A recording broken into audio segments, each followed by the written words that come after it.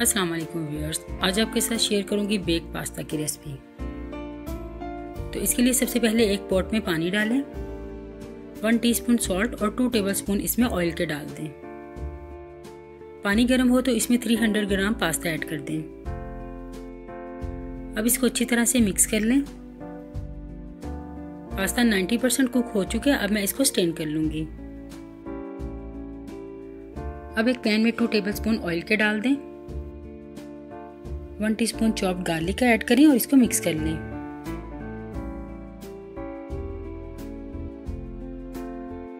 अब इसमें एक चॉप्ड अनियन ऐड कर दें और अब इसे टू मिनट के लिए सोते कर लें।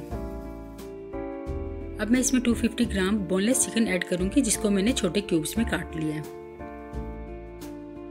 इसको इतना फ्राई करें कि इसका कलर बिल्कुल चेंज हो जाए।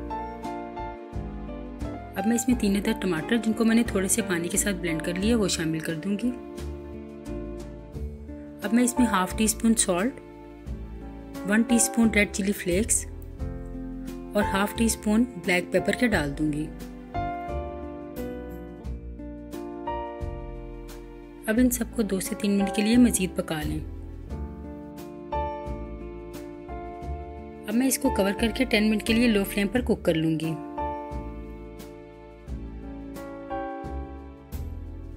चिकन बड़ा अच्छा सा टेंडर हो गया और टमाटरों का पानी भी बिल्कुल ड्राई हो गया मैं इसमें वन फोर्थ कप केचप का ऐड कर दूँगी।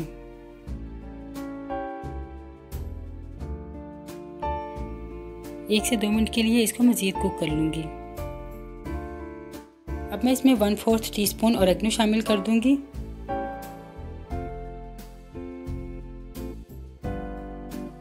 व्हाइट सॉस बनाने के लिए एक पैन में टू टेबलस्पून बटर के डाल दें।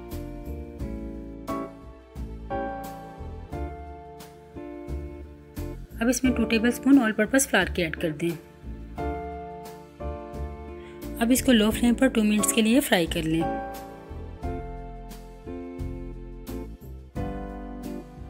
अब इसमें थ्री कप दूध के शामिल कर दें। इसमें कंटिन्यूसली चम्मच चलाते रहें कि कोई भी लम्स ना बने। अब मैं इसमें हाफ़ टी स्पून सॉल्ट और half teaspoon black pepper डालूँगी। इसमें कंटिन्यूसली चम्मच चलाते रहें और इसकी इस तरह की कंसिस्टेंसी की एक थिक सॉस तैयार कर लें।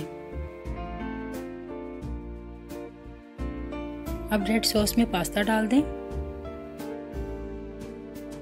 साथ ही इसमें व्हाइट सॉस ऐड कर दें और इनको अच्छी तरह से मिक्स कर लें।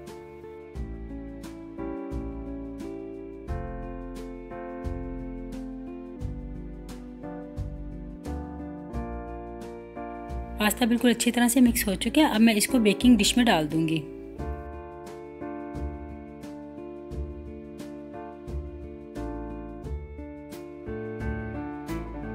अब इसके ऊपर ग्रेटेड मोजरेला और चेडर चीज़ को स्प्रिंकल कर दें। अब इसको 20 मिनट के लिए बेक कर लें। बहुत ही टेस्टी पास्ता हमारा तैयार है। अब आप इसको बनाकर एंजॉय करें और मुझे फीडबैक देना ना भूलें कि आपको मेरी रेसिपी कैसी लगी।